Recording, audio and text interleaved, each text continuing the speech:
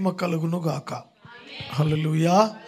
మనం చదువుకున్న నిర్గమాకాండ గ్రంథం ఎనిమిదవ అధ్యాయంలో ఒక వచనాన్ని ఆ వచనం కూడా కాదు వచనంలో ఒక పదం మీ ముందుకు తీసుకురావాలని ఆశపడుతున్నాను. నిర్గమాకాండ గ్రంథం ఎనిమిదవ అధ్యాయంలో ఇరవై ఎనిమిదవ వచనం చూడండి. అందులో ఒక ఒక్క పదం.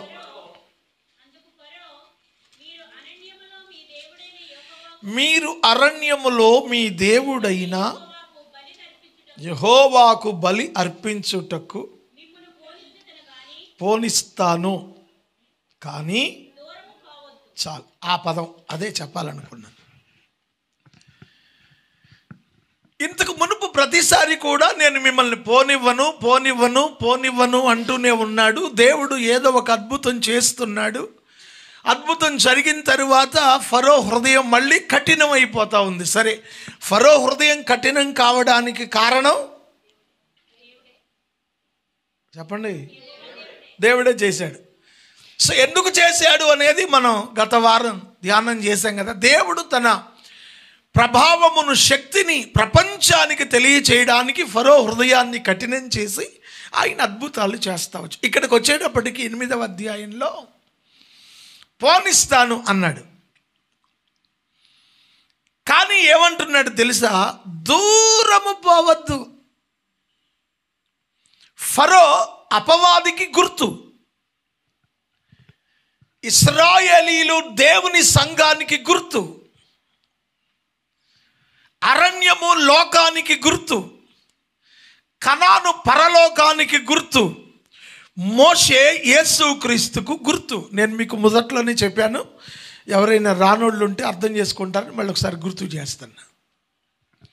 ఈ లోకము అనే అరణ్యంలో దేవునికి బలి అర్పించడం అనేది దేవునికి ఇష్టం లేదు.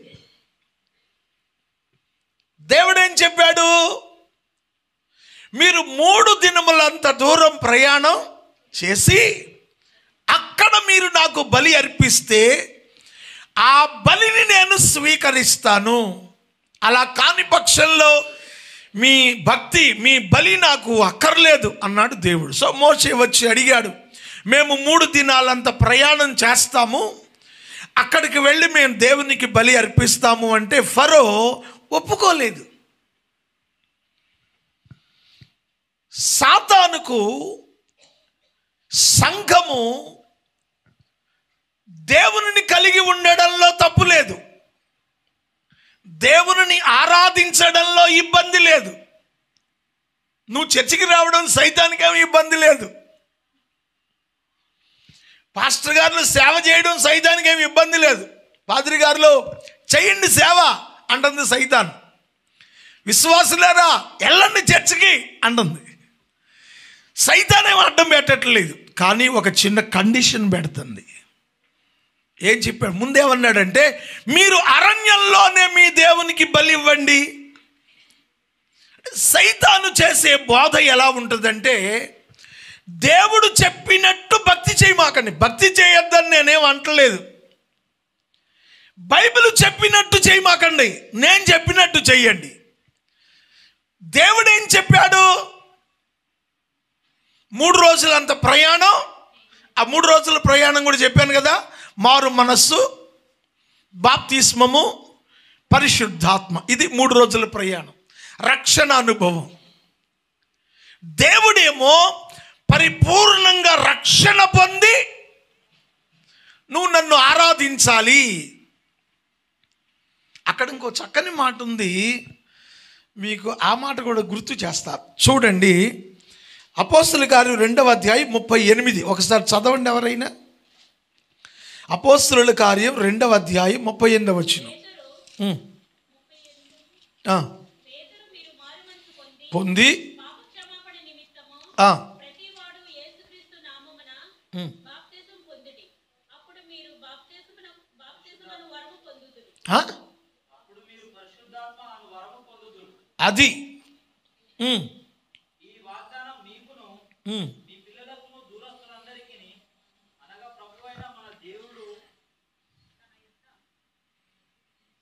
తన యొద్దకు పిలిచిన వారికి అందరికీ చెందునని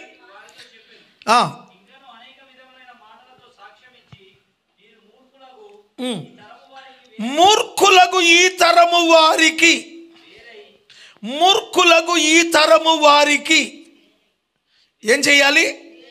వేరుగా ఉండాలి. వేరై రక్షణ పొందటం అంటే ఏదో నీళ్ళలో మునిగేయటం కాదు. ఈ మూర్ఖులు అనే కాడ ఫుట్ నోట్లో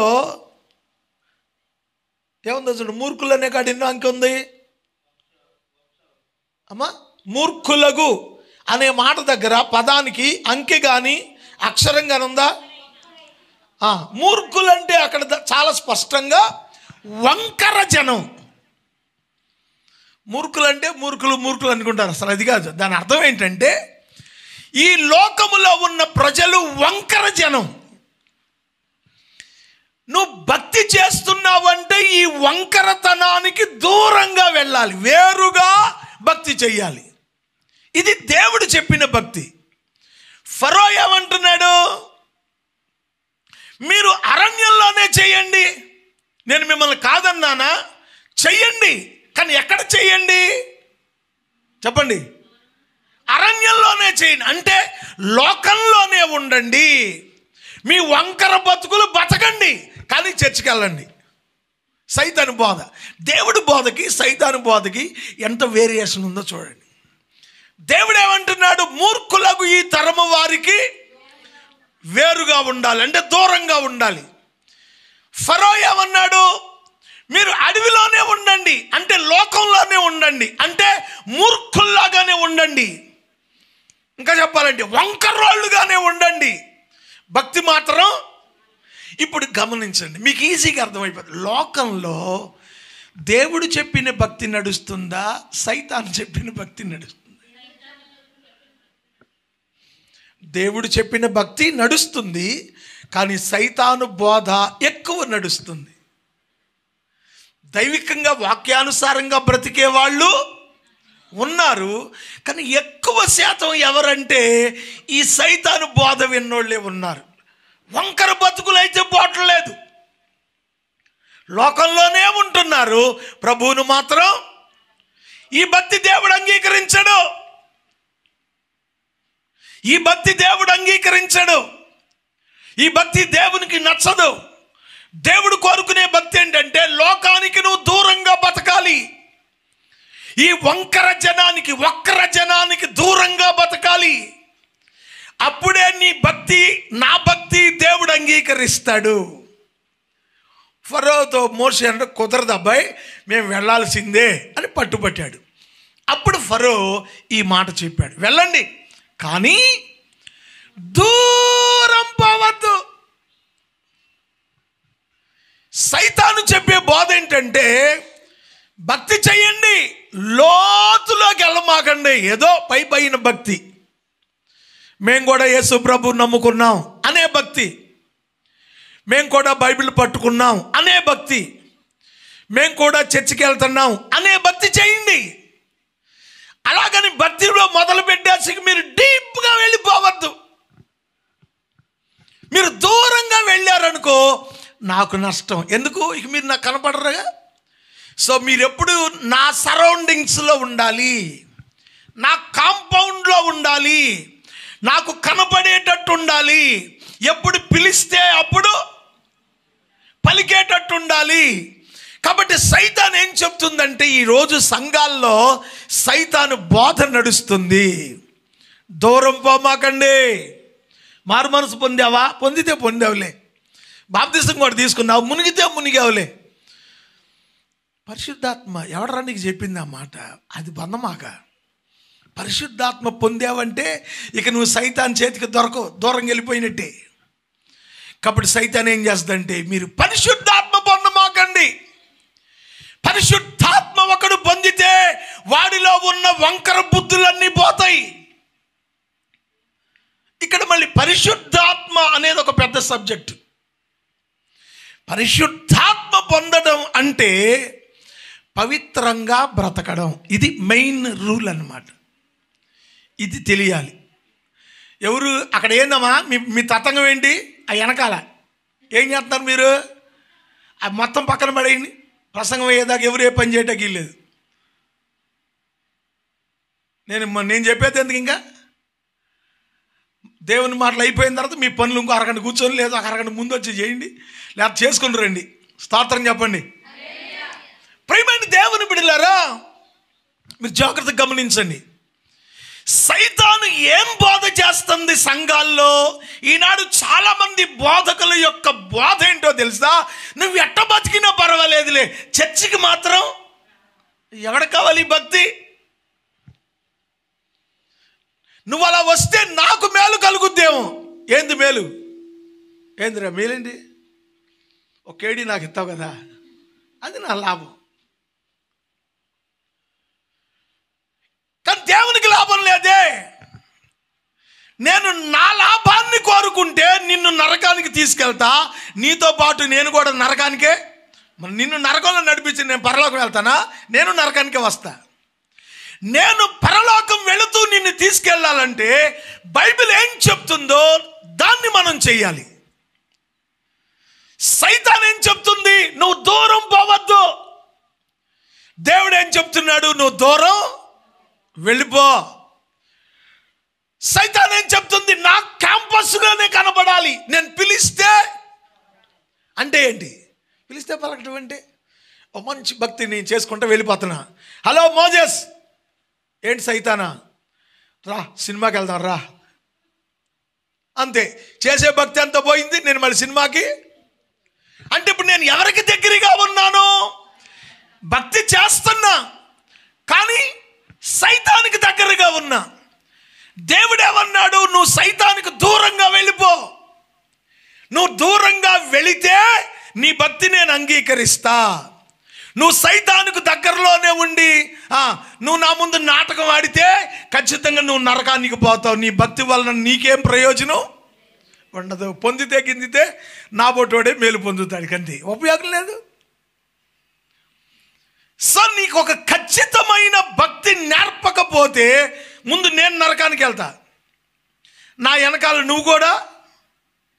అప్పుడు ప్రభు ఏమంటాడంటే నువ్వేమంటావు అంటే ప్రభువా నాదే ఉంది నాయన మోజేస్ గారు చెప్పాడు నేను చేశా అంటే మోజేస్ గారు చెప్పినంత చేయమని నీకు చెప్పానా?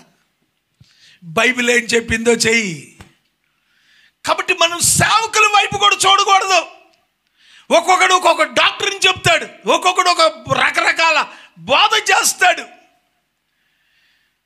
సంఘాన్ని గ్రిప్లో పెట్టుకునేవాడు ఒక రకమైన బోధ చేస్తాడు.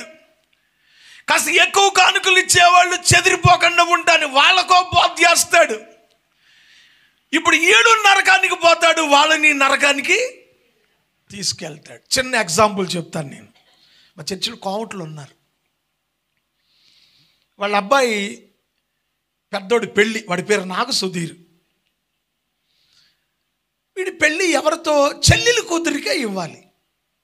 చెల్లెలకి ఒకే కూతురు బోళ్ళు ఆస్తుంది. కోమట్లుగా బాగా డబ్బు ఉంది వాళ్ళకి. కాకపోతే చెల్లెలు కూతురుని చేసుకోవడానికి ఓకే కానీ వాళ్ళు ఇంకా ప్రభువుని నమ్ముకోవాలా? సరే వెళ్ళారు. క్రైస్తవ పెళ్ళికి ఏమైనా ఇష్టపడుద్దేమో అన్నట్టుగా వెళ్ళారు. అక్కడికి వెళ్ళిపోయిన తర్వాత అన్నయ్య ఇది పుట్టినప్పుడే ఆ పిల్ల పేరు శివపార్వతి. ఇది పుట్టినప్పుడే కాకాని గుళ్ళో సాంబశివుడి గుళ్ళో పెళ్ళి చేద్దామని మొక్కుకున్నాం కాబట్టి హిందువులు పెళ్ళే చేయాలి గుళ్ళో పెళ్ళే చేస్తా. నీ ఇంటికి వచ్చాక నీ కోడలు నీ ఇష్టం ఏమన్నా చేసుకో అంద చెల్లెలు. కాదంటేనేమో లక్షల రూపాయలు ఆస్తి పోద్ది. చేసుకున్నామంటేనేమో బైబిల్. బైబిల్ ఒప్పుకుంటలేదుగా? అందులో నేను అందులో అలాంటి విషయాల్లో చాలా కఠినంగా ఉంటా. తెలుసు ఆయనకి తెలుసు ఆ సంగతి. ఇంకొకటి చర్చిలో నాకు బాగా మంచి సపోర్ట్గా ఉంటాడు. ఫైనాన్షియల్గా బాగా సపోర్టర్. ఒక కూటం పెట్టాలంటే ఎక్కువ కానికి ఇచ్చేవాడు ఆయనే నాకు చర్చిలో. కష్టపడేవాడు ఆయనే. పది మంది చేత చెప్పి చేయించేవాడు. అన్ని రకాలుగా నాకు సపోర్ట్ క్యాండిడేట్. సో మా అయ్యగారు ఒప్పుకోడే. అట్లయితే చేద్దాం అన్నయ్య లేకపోతే కుదరదు.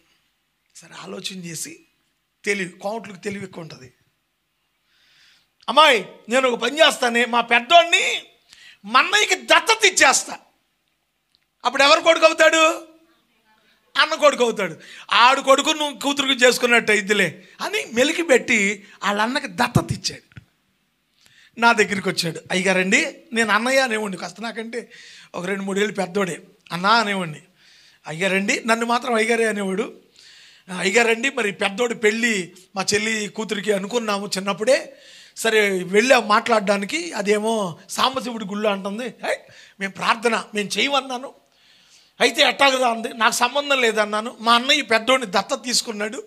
ఇంకా వాళ్ళు చేసుకుంటారు నాకు సంబంధం లేదు. పెళ్ళకి ఆడకు వచ్చింది కోళ్ళ? ఈడింటికి వచ్చిందిగా? ఏం తెలివితేటలు మరి? సావు తెలివితేటలు అంటే అయ్యే.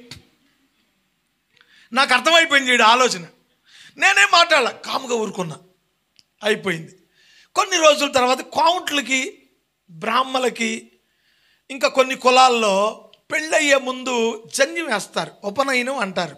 యజ్ఞోపవేతం ఆడికి కూడా వేయాలి జన్యం. పంతుల దగ్గర ముహూర్తం పెట్టుకోవడానికి వెళ్తే పంతులు అన్నంట కదా పుట్టింటి కాడే జన్యం వేయాలి అన్నంట. అంటే ఇప్పుడు పూజ ఎక్కడ పెట్టాలి? మళ్ళీ ఇక్కడే ఈయనకి మళ్ళీ నోటు ఎలక్కాయ పడ్డట్టు అయిపోయింది. ఏం చేయాలి? అయ్యగారు ఊరుకోడు అనుకుంటా సరే నా దగ్గరికి వచ్చాడు.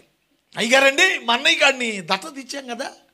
ఆ పంతులు అన్నాడంట వాళ్ళ పంతులు పుట్టింటి కాడే జంది వేయాలన్నాడంట. రై మా ఇంటి కాడ పూజలు చేయడానికి లేదన్నాను మరి ఎటాగరా అన్నాడు. అయితే ఒక పని చేద్దాం. మా పాస్టర్ గారు కూడా బేపనోడే అంటే ఎవరు? నేనే. మా పాస్టర్ గారు కూడా వేపనోడే ప్రార్థన చేసి వేసేస్తాడు జంజం అన్నాను. మీరు ప్రార్థన చేసి వీడికి జంజం వేయండి అన్నాడు. నేనే జంజం తెంచి వచ్చా. నేనే జంధ్యాలు తీసేసి వచ్చాను. జంధ్యాలు వేయటానికైతే నేను సేవ చెయ్యను చేయట్లేదు. మొహమాటం లేకుండా చెప్పా. కొంచెం బెదిరించే పని చేశాడు. ఏమన్నాడు తెలుసా? అలాగైతే మేము చర్చి మానేస్తాం. అన్నాడు మానేయి. నేను మానేస్తే బోడు మంది మానేస్తారు అన్నాడు. మానేయని? నేను నీ మీద ఆధారపడి సేవ చేయట్లేదు సంఘస్థుల మీద ఆధారపడి ప్రభు మీద ఆధారపడి సేవ చేస్తాను. నా పేరే ఎదురు మొండి మోజెస్. ఎవరికి భయపడిన సేవ విషయంలో?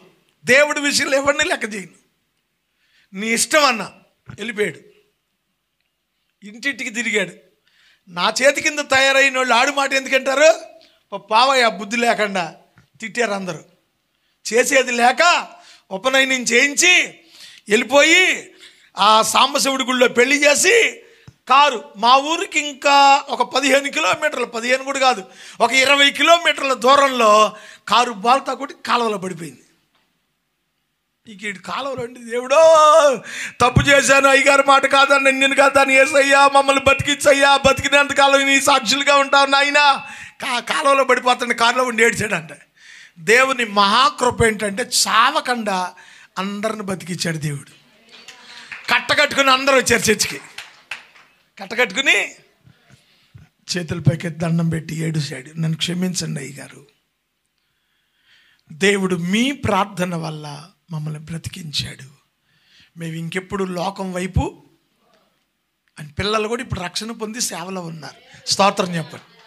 ఒకవేళ నాకేదో కొంచెం డబ్బు ఇచ్చేవాడని కానీ కూర కొంటాడు కదా కూరగాయలు సరుకులు ఇచ్చేవాడు నాకు. ఇచ్చేవాడని కానీ ఆయన మాటకు నేను లోబడితే నేను నరకానికి పోవడం కాదు వాళ్ళను కూడా జాగ్రత్త. మనుష్యుల వైపు మనుషులు చెప్పే బోధ వైపు కాకుండా వాక్యం ఏం చెప్తుందో మనం ఎప్పుడు చూసుకోవాలి. ఈ వాక్యం నీకేం చెప్తుందో దాని ప్రకారం గనక నువ్వు భక్తి చెయ్యకపోతే చర్చిలో చచ్చినా నరకానికే పోతావు.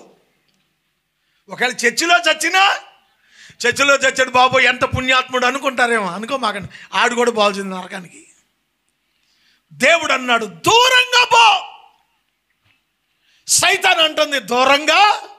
ఇప్పుడు చెప్పు ఎవడు బాధ విన్నాం బైబిల్ ఏం చెప్తుంది? ఇంకా మీకు ఒకటి రెండు సంగతులు గుర్తు చేస్తా. మనకి ప్రార్థనా విజ్ఞాపనలు ఎన్ని ఉన్నాయిరా సరళ? ఎన్నున్నాయి ప్రార్థనా విజ్ఞాపనలు ఎన్ని ఉన్నాయి తక్కువ ఉన్నాయి ఎక్కువ ఉన్నాయా? హాఫ్ అన్ అవర్ ఉంటుందా? అందుకే ఓకే.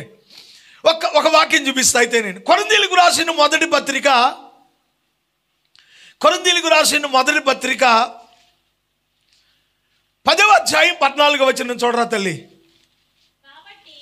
నా ప్రియులారా ఆ. విగ్రహారాధన దూరముగా పారి- దూరముగా పారిపోండి అదే అదే అదే పత్రికలో ఆరు పదిహేడు కూడా చదువు. ఆరు పదిహేడు ఒకటి ఏడు.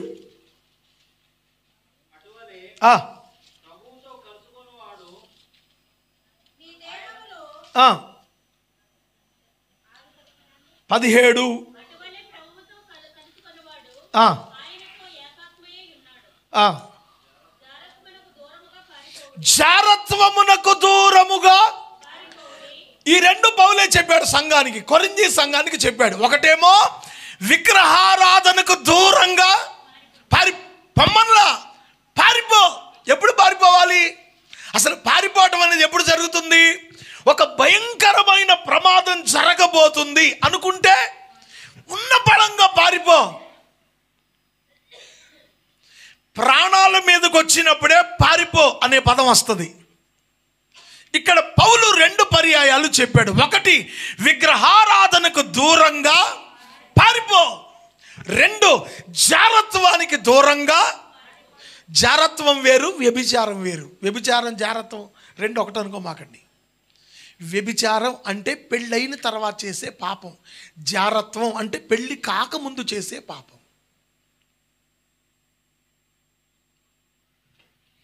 జారత్వానికి ఈ రెండు శరీర సంబంధమైన పాపమే.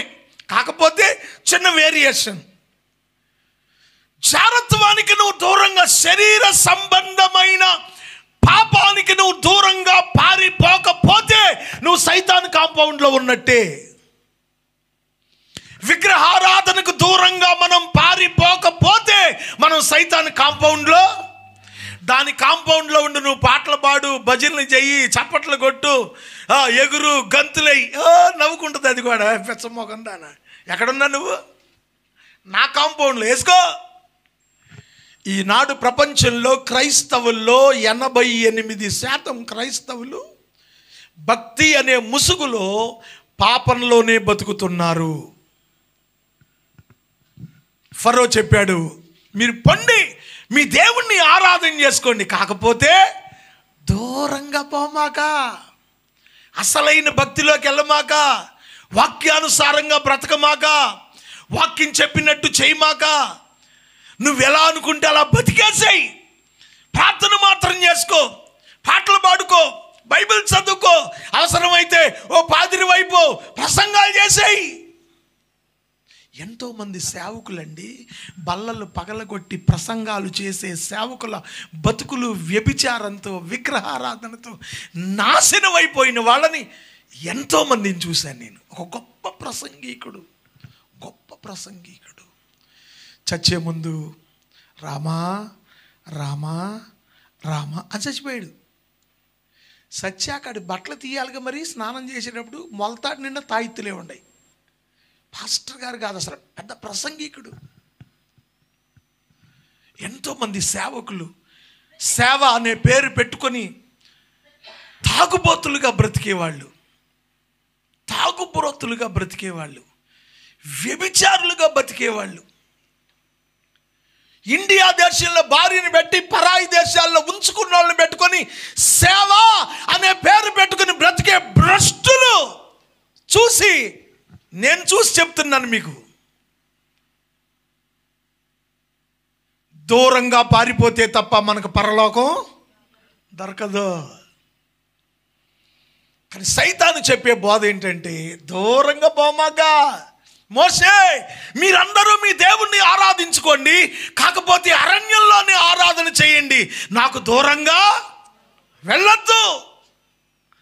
అన్న అంటుంది సైతాను. కానీ దేవుడు చెప్పేది బోధ అది కాదు. దేవుడు అన్నాడు ఇదిగో మూర్ఖులకు ఈ తరము అనగా వంకర జనం. ప్రార్థన ప్రార్థనే.